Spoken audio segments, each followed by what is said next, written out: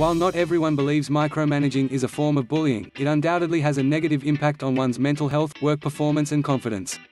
Dima Suponau, co-founder of Number for Live Person, believes micromanaging is a form of bullying because it's about seeking control.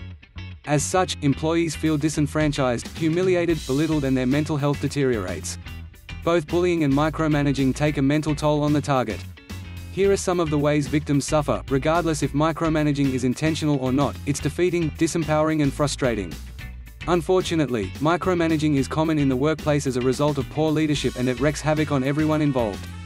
Nora Robinson, PR representative at Refresh Remodeling, said, Micromanagers often resort to bullying tactics with the belief that it makes workers more productive, but it's because they don't know how to manage their team effectively.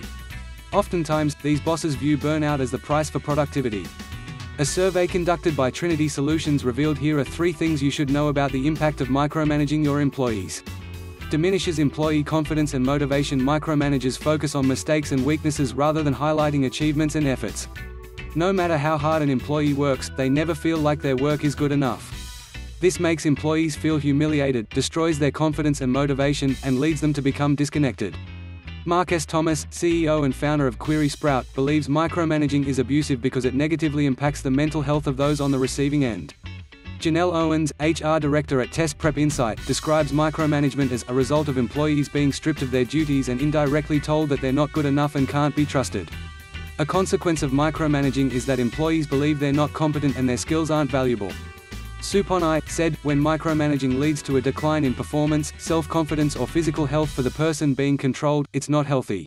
Furthermore, it disrupts productivity by preventing people from working independently as well as collaboratively. It creates an unhealthy and toxic environment too often. Micromanaging is justified as perfectionism when really it's a form of manipulation to control others. It creates a codependent relationship where the employee is fearful to do anything without their boss's approval. Jason Brown, founder and CEO of Approved Costs, asserted, intentional or not, it produces an intimidating environment within the workplace causing employees to become incompetent. Branka Vuleta, founder of LegalJobs.io, said, Micromanagement is a form of dictatorship where you don't get to question ways and methods but instead have to comply with everything the manager wants without question.